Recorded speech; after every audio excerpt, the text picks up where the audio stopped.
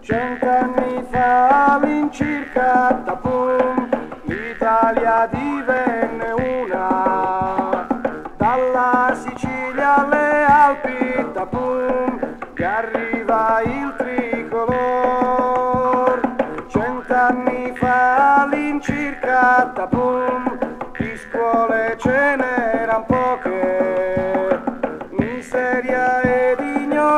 ignoranza, tapum, all'ombra del tricolor. Disse l'Italia neonata, tapum, mettiamo le mani avanti.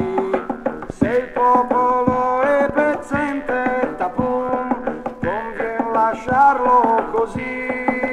Il più grande problema che l'Italia dovette affrontare nel suo costituirsi a Stato moderno fu di creare la coscienza unitaria nei cittadini. Questo compito venne affidato in gran parte alla scuola, ma esso presupponeva la creazione di condizioni nuove di vita.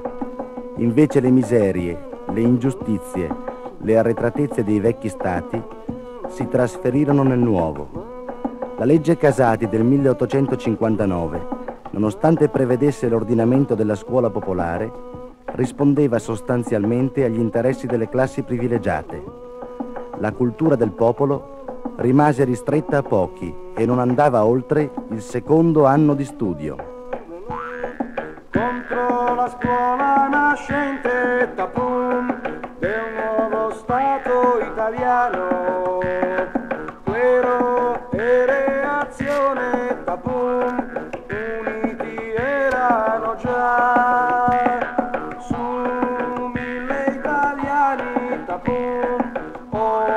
860 erano analfabeti tapum all'ombra del tricolor. Tra il nord e il sud dell'Italia tapum il solco è già profondo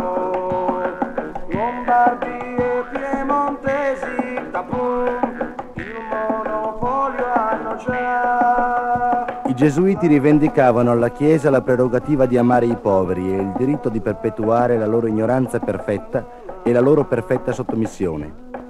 Mezzo sicurissimo di benessere materiale è il lavoro e l'assenza di vizi.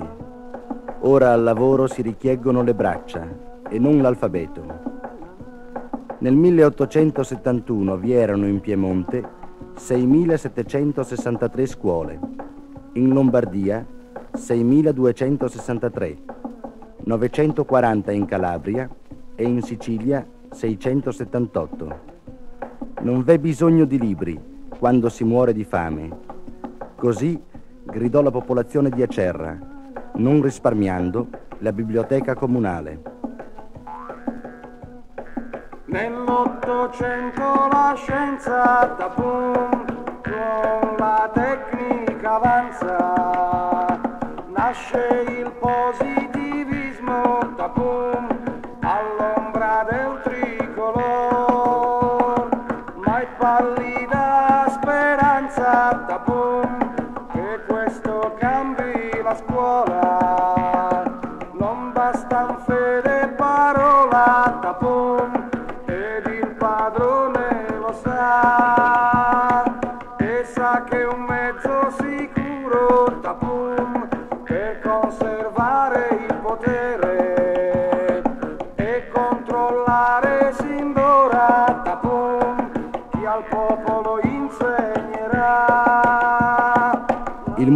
detto positivismo suonò al suo nascere come annuncio liberatore dalle illusioni romantiche e dalla metafisica. Esso mirava a saldare concretamente i problemi educativi sulla realtà sociale e politica, ma ben poco poté contro le condizioni di miseria e squallore che avvilivano la scuola italiana. Tema di un concorso magistrale del 1895. Ad un buon maestro occorrono tre cose. Un po' di sapere, molto cuore e devozione senza limiti al proprio dovere. sotto i ponti italiani tapum e qualche volta anche sopra l'acqua intanto passava tapum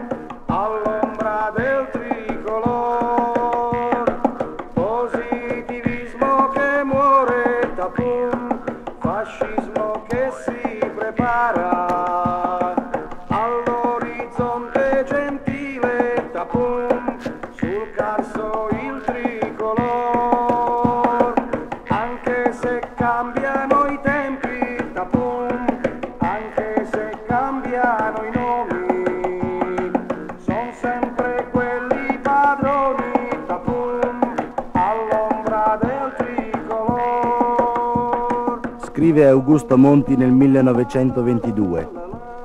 Quando si farà la storia della scuola della Terza Italia, si vedrà che il fatto più notevole di tale periodo è stato questo. Una classe dirigente che riesce a fare per 60 anni una politica scolastica prettamente di classe. Il popolo, la plebe e il proletario, se vuole, se può, va in questa scuola e ne percorra anche un grado solo, il risultato è sempre quello. Vi entra popolo, plebe, proletario e ne esce borghese. E son passate le guerre, tapum, passò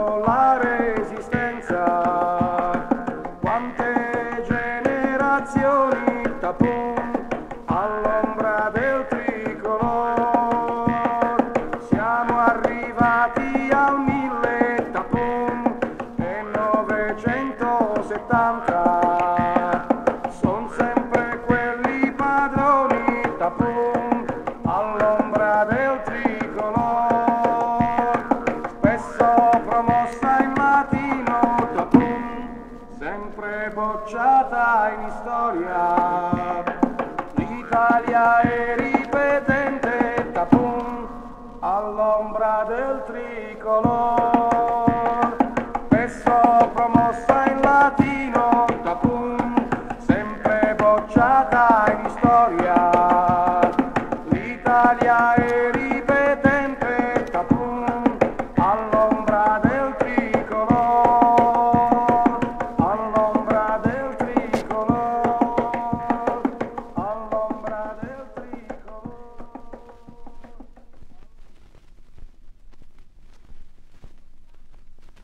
Sfogliando il sussidiario, ovvero i bimbi come li vorrebbe il padrone.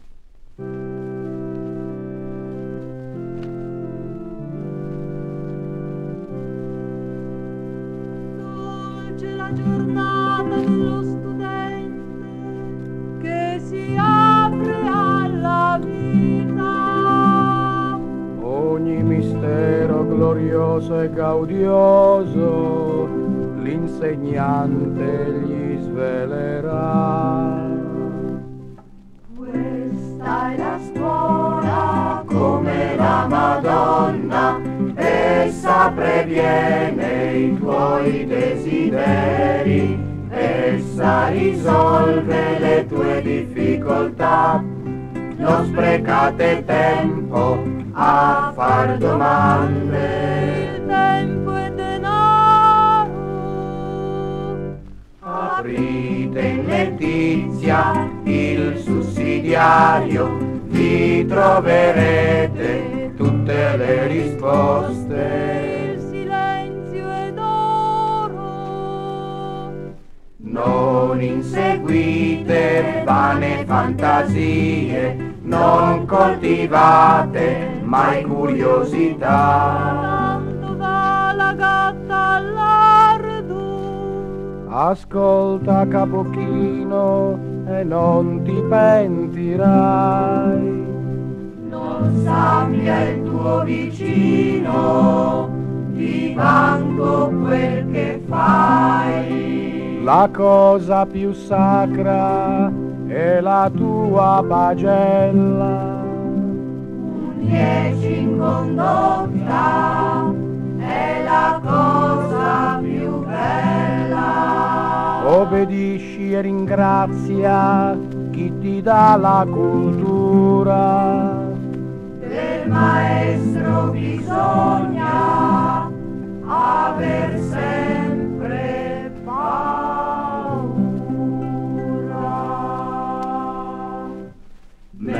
mentre tu studi felice ed ignaro, per te lo Stato previdente prepara.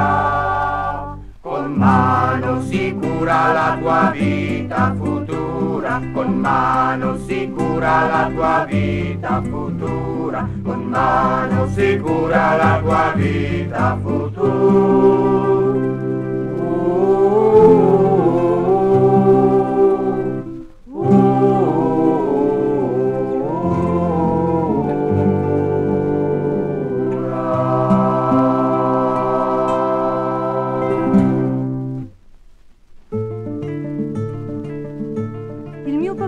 Che a scuola si dovrebbe parlare anche di politica. Padre! Snaturato, egli di certo è comunista.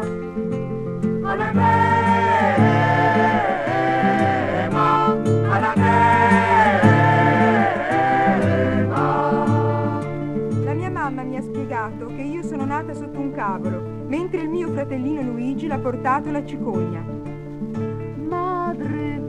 aureolata, ella di certo è un angelo. Alleluia, alleluia. Il nonno, quando parla della grande guerra che ha fatto in trincea, dice che è stato un massacro inutile, voluto dalla borghesia per guadagnare soldi coi cannoni. Nonno, di statista, per fortuna morirà presto. Alleluia, alleluia.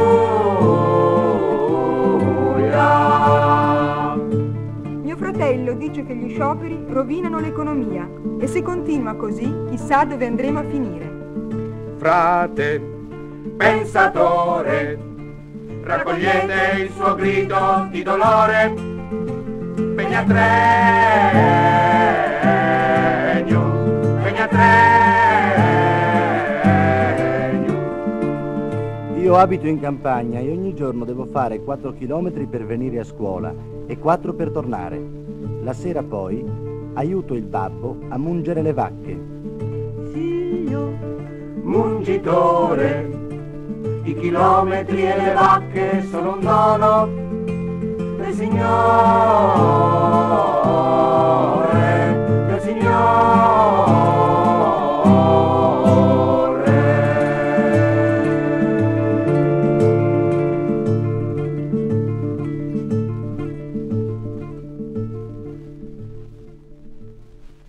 Basta con il canto, al vostro posto di lavoro, aprire le cartelle, estrarre il libro di testo! Bosco fiorito, chiaro cielo, gira gira mondo, cuor che batte, il giocoliere, anni verdi, lieti incontri, cuore di bimbi, il mondo è la mia patria. Apriamo a caso, leggete e imparate. I giorni più belli sono quelli del risparmio. Il miglior concime è il sudore. L'agricoltore è un re, il frutteto il suo regno. Con la buona volontà i poveri ottengono tutto. Luisa da grande vuol fare la cassiera del supermercato. I poveri amano l'elemosina dei ragazzi. L'Italia è una terra benedetta da Dio è così bella che somiglia alla mia mamma. Lo Stato Vaticano, pur se piccolino, è il centro spirituale di tutto il mondo. Gli italiani sono dappertutto, anche in Siberia, dove costruirono la Transiberiana piena di gallerie che solo gli italiani sanno costruire. Il ponte si regge con la verga dell'operaio assistito dagli angeli. Coccinella di Gesù, prendi il volo e va lassù. Coccinella di Gesù, prendi il volo e va lassù. Sono ricco, non sono cieco, non sono sordo, non sono muto, non infermo mutilato, mente aperta e cuore buono, se mi chiedi cosa sono ti rispondo, sono ricco. Bravo, bravo. La scuola è proprio una chiesetta che i suoi fedeli aspetta. Anche se povera e modesta, prende un'aria di festa quando è piena di voi, bimbi, la scuola. Lo studio, bimbi, in certa qual maniera, è anch'esso una preghiera. Ma via, ora muoviamoci, usciamo all'aperto, una passeggiata per le vie del paese ci farà bene, e a contatto con la realtà che si diventa uomini. Andiamo ad osservare il mondo da vicino. In fila indiana, Marciare! Guardarci attorno! Osservare attentamente! Ecco la città che vive! Rumori familiari, rumori di casa! Eccoci dove tutti gli uomini di buona volontà, anche nella sorte avversa, lavorano per risolvere nella reciproca concordia, collaborazione e fiducia la questione sociale. E quello chi è, signor maestro? È uno spazzino. Il suo è un lavoro umile, ma siccome lui lo fa bene, si guadagna onestamente il pane per la sua famigliola. E sai cosa pensa lo spazzino? Non tutti possono diventare ingegneri. Quel che importa è che ognuno faccia bene il proprio lavoro. Anch'io da grande voglio fare lo spazzino. Saggia decisione. Sai chi è quell'omone laggiù, scuro in volto, che picchia con rabbia sull'incudine? È il fabbro. E sai perché è così di malumore? Perché? Egli è poco soddisfatto che il suo nipote voglia fare l'ingegnere. È così bello e utile il lavoro del fabbro. E poi che bisogno c'è di mirare tanto in alto? San Giuseppe era falegname, gli apostoli pescatori. E più un lavoro è umile, più dà soddisfazione, perché diventa un'arte. Quella del contadino, del muratore, del legnaiuolo e del fa... fa fa Papà, bra, bravi, sono fra le arti manuali le più compenetrate con la vita dell'uomo, le più innocenti e religiose. Signor maestro, guardi, la campagna! Per l'appunto, ecco i villani tra le zolle, il lavoro del contadino, ah, non è soltanto indipendente e salubre, ma anche fecondo d'allegrezza senza fine. Nella vendemmia grandi e fanciulli lavorano felici e nessuno si affatica. E la zappa, oh, voi non sapete quanto sia sia bella la zappa. La zappa non chiede che due buone mani forti, due mani nodose, risolute, consacrate. Gli attrezzi nelle mani del contadino sono più preziosi dello scettro del re. Guardatevi intorno, campi, colline, valli, e pannocchie, vigneti, barbabietole, e stalle, porcini, conigliere, alveari, pollai, e nell'aria canti, e nel cielo frullidali, sotto la neve pane, sotto la grandine il manto del Signore, davvero, davvero la speranza brilla senza tramonti sul cielo degli agricoltori. E quando il vento cala e l'ave suona, e il crepuscolo intenerisce il cuore. Oh fanciulli, accoccolati sui rami del ciliegio, osservate la voluttà con cui un contadino pesa tra le mani amorose una pera gigantesca. Capito? Questa è la vita di tutti gli uomini veramente uomini, non fannulloni. Ed eccoci di nuovo in periferia. La campagna è ormai alle spalle. Sentite?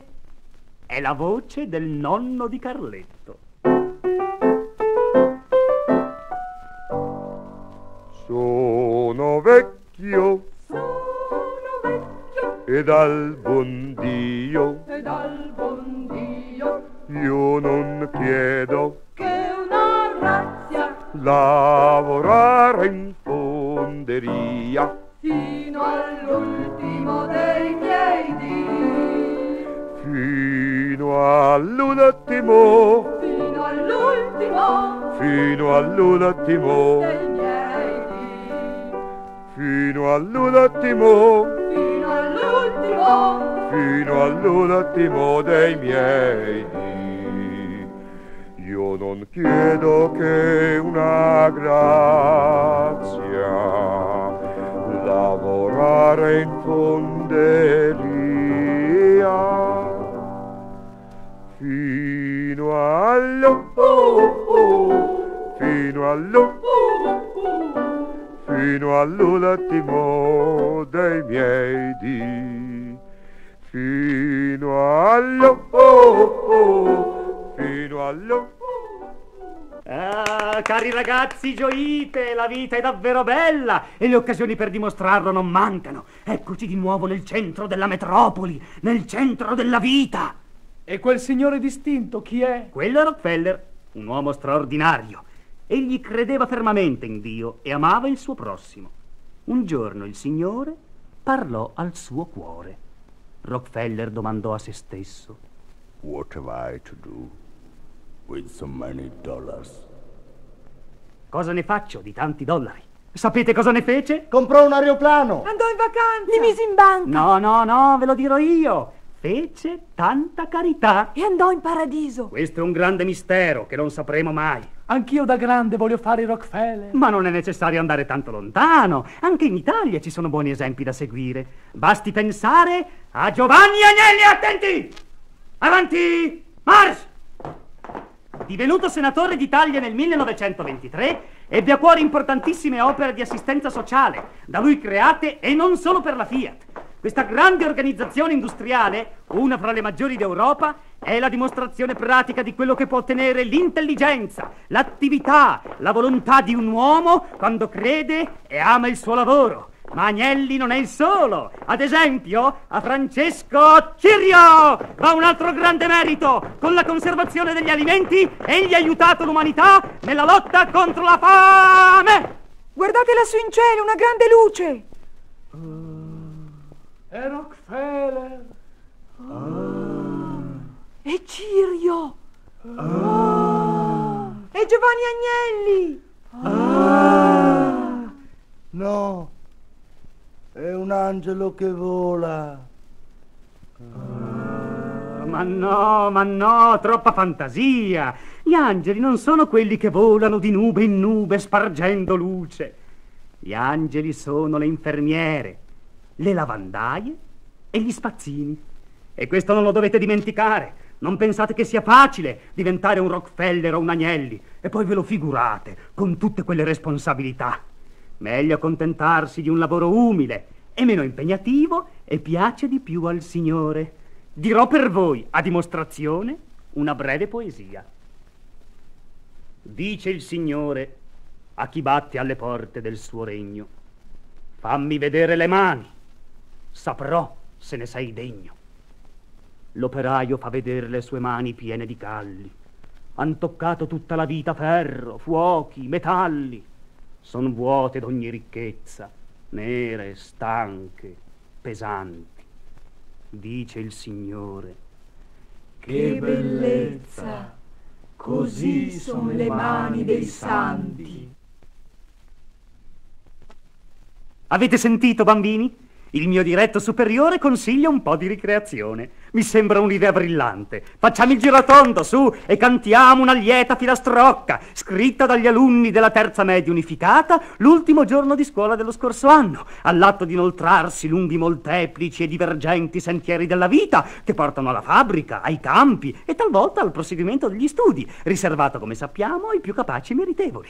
Il tutto in armonia e letizia, entro quell'ordinata convivenza sociale di cui parlavamo prima. È una canzone ispirata all'amore per la natura e per la società, e in particolare ad un'acuta osservazione del lavoro, con un felice parallelo fra uomini ed insetti, come a ricordare, se ce ne fosse ancora bisogno, che tutti su questa terra siamo uguali al cospetto del creatore. Le formicuzze van tutte in fila dietro il capo gran formicone che comanda la legione con la massima disciplina. Quando trovano una pagliuzza o una bella briciolona se la caricano sul grappone e la portano alla città. Alla fine della giornata tutti i capi gran formiconi nella bella tavolata si dividono in bricioloni mentre invece le formicuzze radunate in un angolino si dividono le bricioline e poi vanno a riposare.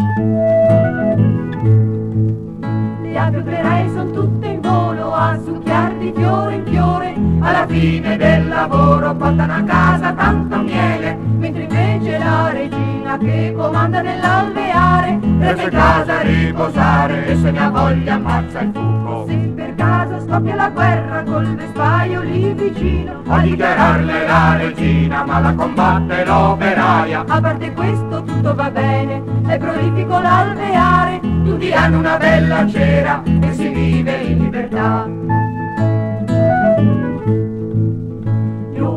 van tutti in fila dall'ufficio all'officina con la bella macchinina quando fa caldo e quando gela alla fine d'ogni mese con i loro bei macchinoni vengono i capi omaroni e consegnano le buste. Nella busta dell'omarino ci sono tanti bei soldini. Nella tasca dell'omarone ci sono tanti bei soldoni torna a casa l'omarino con la bella macchinina guarda il televisorino con accanto la figliolina. Torna a casa l'omarone con la bella macchinona guarda il televisorone con accanto la figliolona. L'omarino al frigorino l'omarone al frigorone uno mangia la minestrina l'altro mangia il minestrone a parte questo tutto va bene, oh pardon, tutto va benino. Anche se alle volte pare che tutto quanto vada benone. Resta solo da vedere cosa c'è tra Oneino. Forse manca una rotellina, dati da fare, mettila su. E se poi non la mettiamo?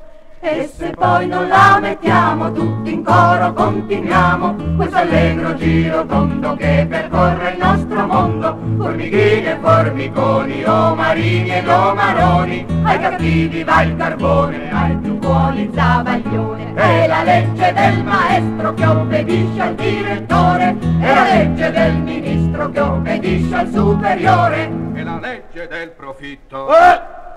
È la legge della vita. La, la canzone è già finita, è la legge dello Stato che la scuola ha insegnato. Pa, pa, para, para, pa, pa, olè. Cos'era successo, signor maestro professore? È un equivoco, un'interferenza, o forse un attentato, un'azione di forza, un cortocircuito, insomma qualcosa di anormale. Non pensateci più, dimenticate quel che avete visto. Sono cose che accadono lontano, lontano, in paesi barbari, abbandonati da Dio, dove si è dimenticata ogni regola del vivere civile, dove regnano il disordine, la violenza, il fanatismo, dove si parla di lotta di classe, di rivoluzione. E questa è una brutta parola che non piaceva a Don Bosco. Cancellate questa parola dal vostro vocabolario e il suo significato dal vostro animo. Essa non ha mai portato fortuna a nessuno. Basti l'esempio della rivoluzione francese. Sapete perché scoppiò la rivoluzione francese e quali conseguenze ebbe per la Francia?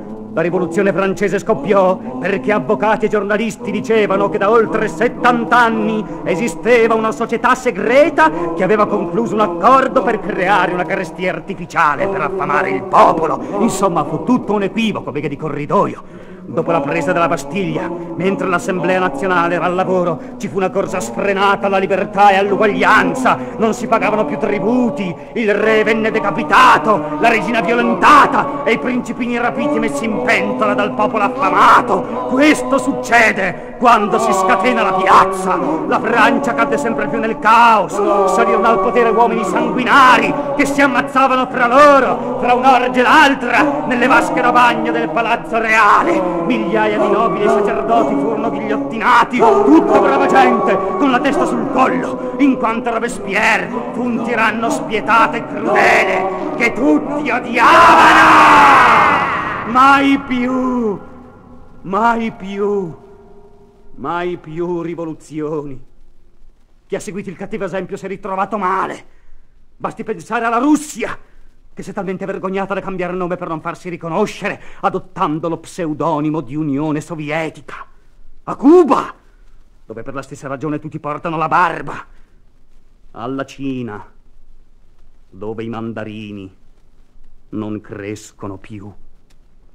Fanciulli, imparate. Tenetevi alla larga dalle rivoluzioni e dalla politica che è l'anticamera di quegli scontri di classe che dovete imparare ad aborrire, o meglio ancora ignorare. Fin d'ora che sedete, mi si perdoni il bisticcio, in una classe dove viva Dio non ci sono differenze, perché il maestro e i libri di testo sono uguali per tutti. Su via, su via, eseguiamo ora per risollevarci lo spirito, uno spensierato canto corale, un canto pieno di salute d'aria buona, un canto che ci ricorda le allegre scampagnate domenicali quando il babbo, dopo aver guidato per tanti chilometri, si riposa sotto un pioppo annerito dal fumo delle operose ciminiere, leggendo la gazzetta dello sport e la mamma, canticchiando sull'erbetta pallida, prepara la buona carne in scatola per il picnic.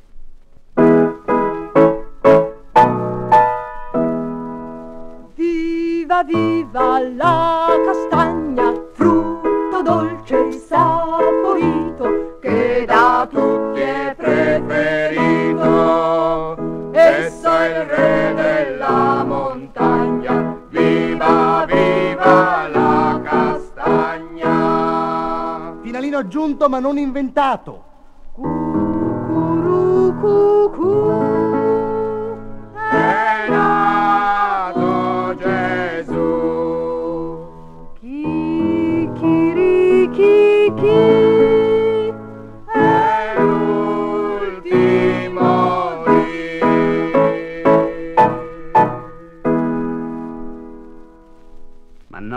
ma no, signora, si calmi. Suo figlio non è mica morto. È solo stordito. Un po' emarginato. Leggermente selezionato. Si riprenderà. A tutto c'è rimedio. Si rivolga allo psicologo. O all'assistente sociale. Vede? Sarà rimesso a nuovo. Ce ne sono tanti come lui. Credeva che fosse il solo? È la sorte che tocca al 40% degli alunni. Ma per suo figlio faremo uno strappo. Sa cosa le dico? Lo mandiamo alla differenziale. Presto voi, datevi da fare. Con la respirazione artificiale. Un sulle braccia, due giù la testa, tre bocca a bocca. Vede? Su signora, collabori anche lei. Eseguiamo insieme il canto della respirazione artificiale. Scritto dai negretti Della scuola differenziale di Memphis. Nel Tennessee. e divulgato in Italia Nel quadro degli scambi culturali con gli Stati Uniti. Promosso dall'USIS. United States Information Service.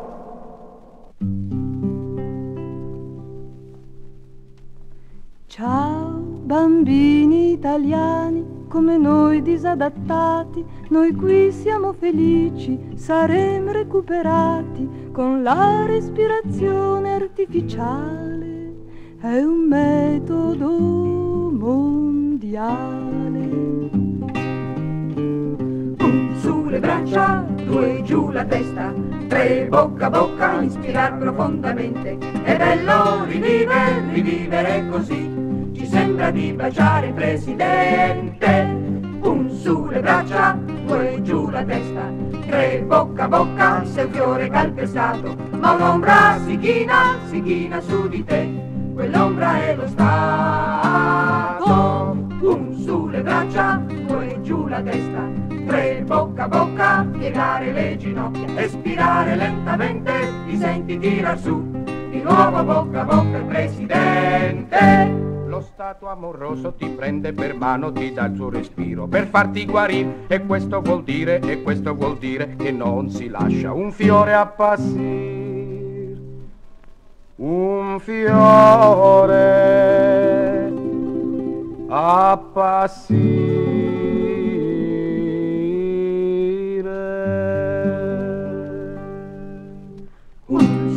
Braccia per lavorare, due giù la testa per obbedire, tre bocca a bocca per respirare all'unisono con chi ti sa salvare. Lo Stato italiano sappiamo che buono, infatti è molto amico del nostro e quindi cantiamo con voi tutti in coro l'internazionale differenziale. L'internazionale differenziale. Ciao bambini italiani, come noi disadattati, non siate troppo tristi, sarete reinseriti, in fabbrico nei campi troverete la pace, l'equilibrio e la salute, se con noi voi canterete. Un su le braccia per lavorare, due giù la testa per obbedire, tre bocca a bocca per respirare all'unisono con chi ti sa sfruttare.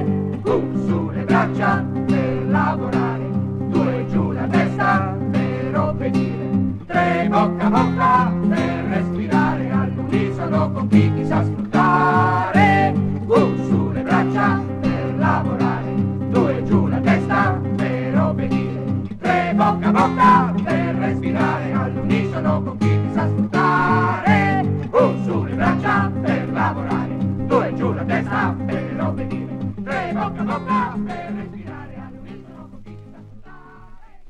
E se poi questo riadattamento non si verifica, pazienza. Nessuno starà a sottilizzare. Nessuno verrà a controllare se vostro figlio ha terminato la scuola. L'obbligo scolastico non ha l'aria truce caparbia di un esattore delle tasse. Viviamo in un paese libero e generoso. Un paese che ama i bambini. Anche a vostro figlio un giorno sorriderà la vita. Sollevando il capo dal tornio, Guarderà i suoi compagni di reparto. Le belle tute blu, allineate in fila. E mentre i rumori delle macchine riempiranno l'aria in un empito virile. Come inno alla laboriosità che prelude al paradiso. Penserà. Che fortuna in fondo aver interrotto gli studi. ho corso il rischio di prendere un diploma. O addirittura una laurea. Meglio così, molto meglio la mia sintassi incerta e la mia brusca saggezza popolare. frutto dei sacrifici e privazioni Di tante e tante generazioni. di lavoratori simili a me. Meglio il mio cortile proletario, coi mille odori e gli strilli dei bambini, e i tanti camini per le stufe a cherosene. Meglio la fabbrica. dove la giornata è piena di imprevisti, dove il padrone mansueto accoglie le richieste della classe operaia. Una mano sul cuore e l'altra sul revolver. Che se solo è possibile non spara. Per quanto siano forti, La tentazione, il magone. Di chi sente il dovere di conservare il potere E con nel cuore un raggio di sole. che leggiadro penetra dai finestroni, Il vostro ragazzo. così precocemente adulto Chinerà nuovamente il capo sul tornio. E nessuno. nemmeno il cronometrista o il capo reparto potrà impedirgli di tornare per un istante bambino E, di sognare, sognare, sognare.